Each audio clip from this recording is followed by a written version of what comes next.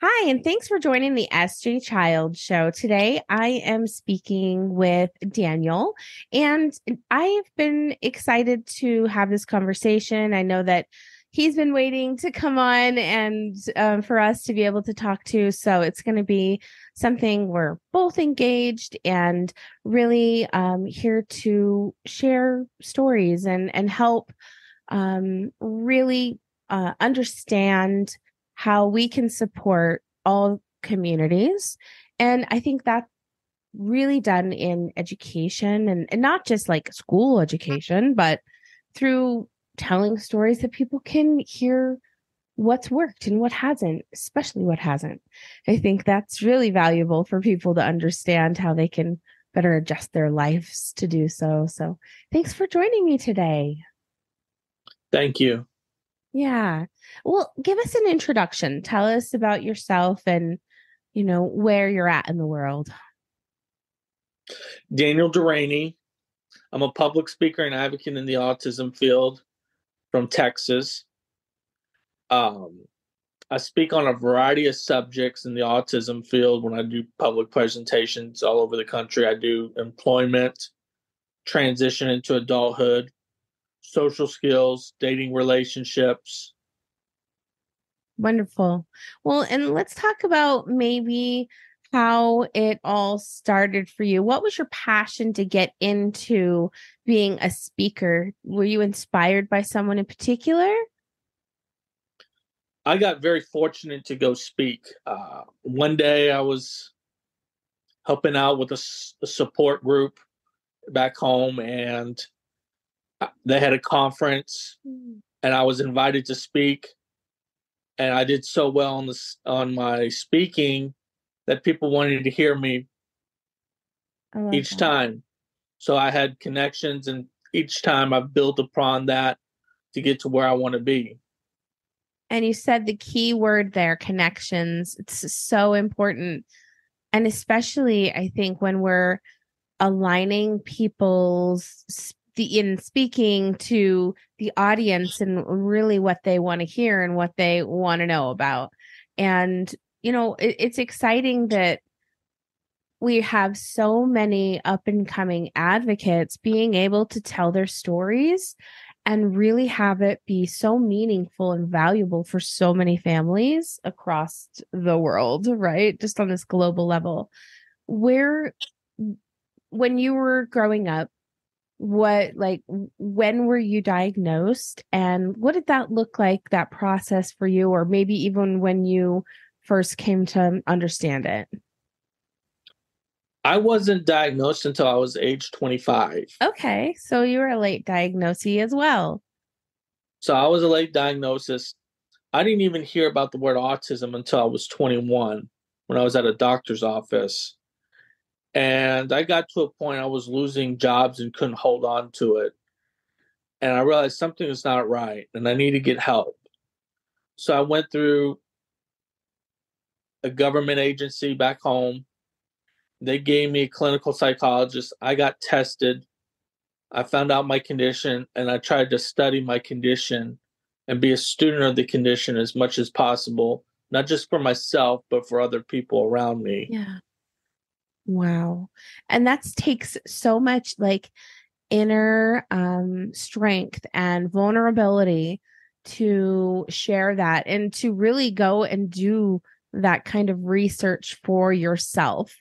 Um you know, I did it for my child and then come to find out of course years and years and years later um did it for myself for several months. That that inner introspective research and going back and kind of uncovering things. When you are now looking for work what kind of things have you might learned to help accommodate yourself?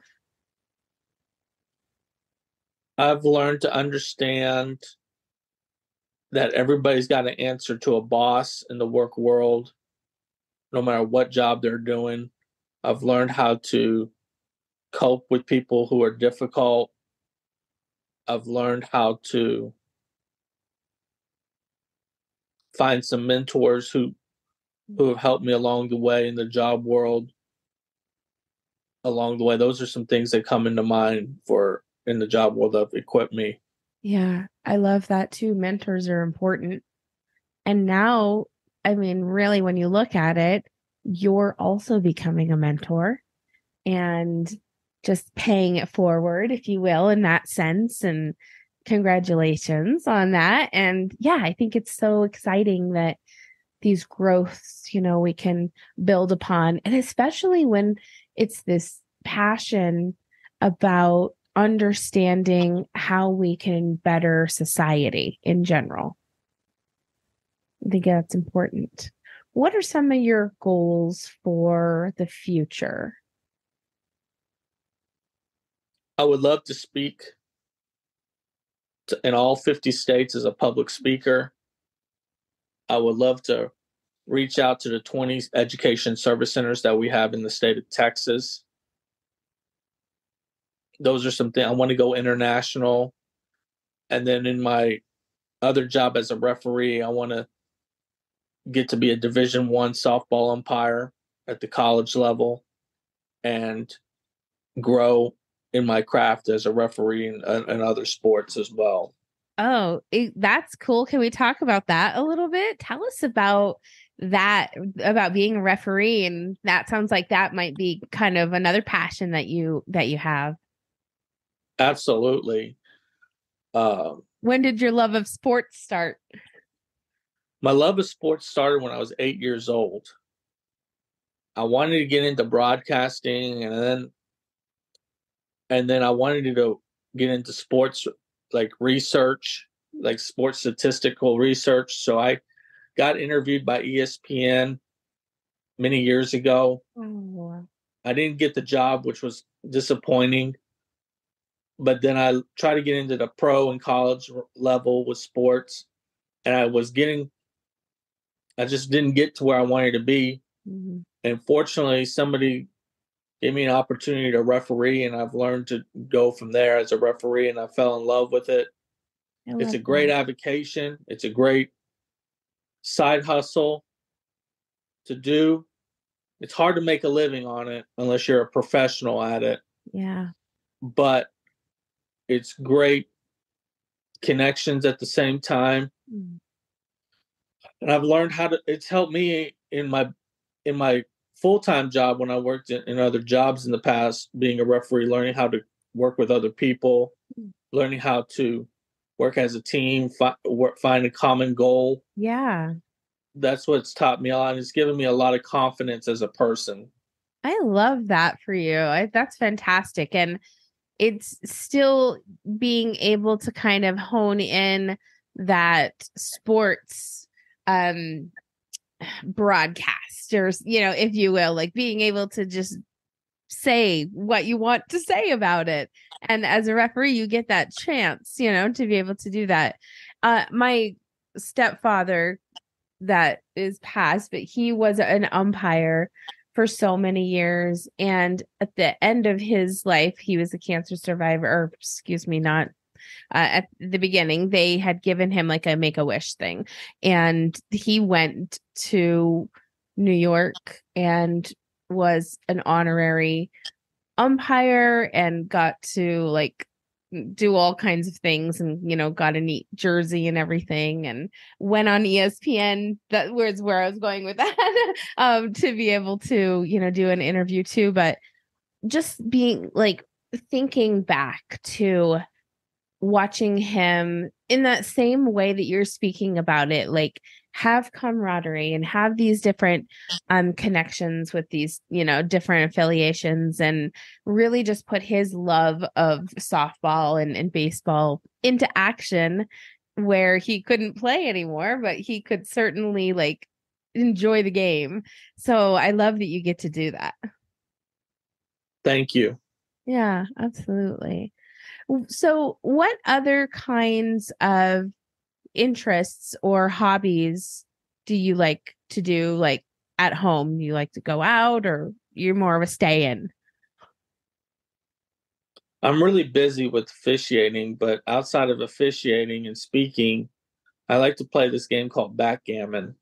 Oh yeah. It's really intriguing. It's a Middle Eastern game And if I had more time in my day, I would try to join tournaments if I could and see how I compete against other people because I play the game all the time with my wife. That's great.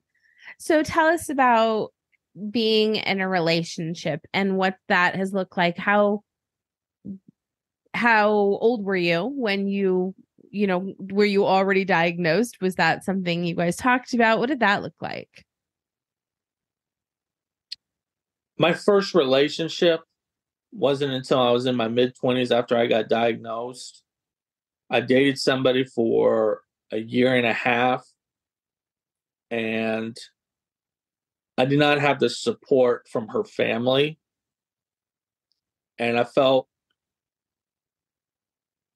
it was not a battle to fight. So I broke mm. it off and cut the cords basically. Good for you.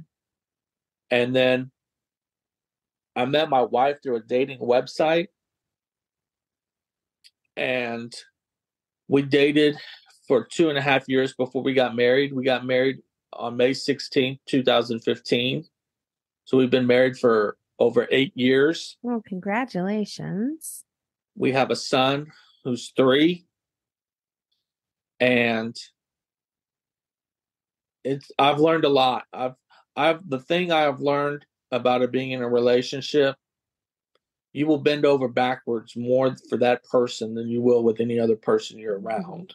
Yeah. And there is so much give and take along the way. So that is what I've learned in, in being in a relationship more than anything else. Yeah, I agree. I dated my husband for, well, we were friends for about six months before we knew that we thought we might like each other. So then we, it was lovely because we'd already gotten to know each other so well. And then we've been together ever since, and it'll be 19 years on September 13th. so, hmm. and I, in the last decade, come to find out that we're both autistic and, you know, our children. And so it's been this like really fulfilling, um, endearing, like caring system that we have for each other and for our kids and for one another to try to help really support how everybody learns best, processes information the best. Like we're really open now to understanding all of that through all of this learning, um, which you know is giving them, I think, a real step up from kind of what how we were raised and not knowing the same for you, you know, in the, in that how many struggles that you kind of went back and thought, oh my gosh, if I only would have known, like I could have found some support for this, this, or that. And it, but at the same time, it's great that we've come so far and have had so many achievements and overcome so much. Um, and it's the like this fine line you want to keep your kids to be resilient, yet give them the right combinations that are they're deserving. And you'll come to find that out as yours is only three. How do you, what do you think about parenting? What do you, uh, is it everything? Uh, did you want to be a dad? I've always wanted to be a dad. I've mm. enjoyed it. He, My Oh. son gives me pure joy. Oh, it's oh, I love that. Yeah. it gives me pure joy. Great age. I love to watch them when they're like observing and figuring things out. And they're so curious, aren't they? Oh yes, I love learning about him and learning about his strengths, his weaknesses, Yeah. just learning what he does well in, what he doesn't do well in. And I as he gets older, yeah. And and as he grows, it'll be those things that you'll be able to kind of draw from that information you're gaining to help build challenges or things, you know, with those strengths, just like you know, is best done through through those practices. finding those strengths and building upon them. And that's so exciting. So we we're talking about you doing like sports broadcasting. Is that still something you want to do if you had a chance to do it in the future? My focus is on refereeing and public speaking and getting to the goals I want to get to as a referee. Good. I would love to do the College World Series for softball as an example. It's and are there and, programs that you like apply for to get to for that or how does that work? Do you just need to know the right people? There's camps and clinics um along the way. There's there's trainings, there's meetings that we go to as a as as I'm part of a high school chapter as well. We go to meetings and we learn a lot and there's along the way there's connections to make and hmm. and that's what you have to do uh sometimes having a big boy job takes over that and that can uh, that can that can that can stunt the process and that's sometimes more important than that but that's what it takes to get to where you want to where I want to be yeah absolutely do you have a lot of support from your family there in Texas still? I do. That's I do good. in Texas. I do. My parents are living and my parents are supportive of my dreams on that and my wife is but we're also realistic of what's got to what's got to come first and that's paying the bills right isn't that the truth and yeah. that's that's and that's that's the most important part of it right now um yeah. well and hopefully some great opportunities you know can open up for you uh the more and more that you share about advocacy and especially you know reaching out to some of those organizations and things and finding those maybe ambassadorships. I think that that's a really neat process that is available for people to to become part of. And i see so much success for the people that you know get to to be a part of that but also just um really showing up in the world and talking about the things like you said relationships and work transitions and understanding how to better communicate with people or better understand that there's always a boss. I love that you said that because that's something really realistic that sometimes we might not take into consideration, especially when we're first entering the work field or transitioning to new things.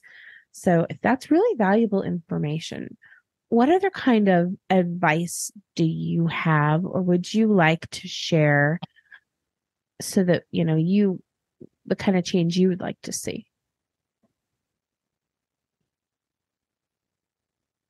my advice, especially when it comes to transition into adulthood, is getting early intervention is important. Starting the process of transition into adulthood, not waiting until you're 14 or 16 or 18, but starting early at like six when they immediately get a diagnosis is important to, to smoothly transition into adulthood. Um, when they're in college, when folks are on the spectrum are on the college, don't expect colleges to teach you everything. Mm. But look into the disability centers and the career service centers as your resources to get to where you want to be while in college and while you transition out of college. Um, Kobe Bryant, he's a about famous basketball player. He talks about the people talk about him as the Mamba mentality, having the mentality to get back up, be resilient in what you want to do, pushing forward, learning from each situation, learning how to fail forward in life. Those are things that come into mind as as some advices I give to oh, yeah. to parents and folks on the spectrum as, as well as teachers along the way. Mm. Um, as for what colleges could teach a little bit better in when they go into adulthood. Um, how to handle being fired, how to mm-hmm. handle losing a job, being let go, uh, how to properly counter offer when you're in the job world, when they're, you're given an offer, how to properly counter offer, and how to properly ask for a raise while you're in the job. Mm-hmm. I think those are some things that colleges could do better in teaching in that phase. I think at the high school level, talking about finances, mm. teaching finances to class in, in those classrooms, getting the state legislatures to buy into that, because they really dictate what a, the graduation, what the classes that a child needs to have to graduate high school. Yeah. So getting the state legislatures involved in that. Um, I would like to see. I know it's a hot topic, but ABA getting it mandatory in the in the schools yeah. because the parents don't have the finances to fork thousands of dollars, even with insurance, to get them. In, yeah, to get them to get them involved in it. Those are uh, insurance help increasing the health insurance to being under their parents' insurance at the age of 30 mm-hmm. instead of 26 because not many of them are supporting themselves. Yeah. Those are a lot of things that come into mind in giving advice and pointers and tips along the way. I mean, those are really valuable, valuable points and information. I'm even going to go back and write some of this down and make sure that I have these uh, references to draw from for other people. I appreciate this so much, actually. Um, it's I love podcasting in the sense that I can always uh, know that I'll learn so much from a new person that I'm meeting and take have so much to take away and you know just teach others and it's such a great experience and I'm really glad that we finally were able to connect and um, make this happen.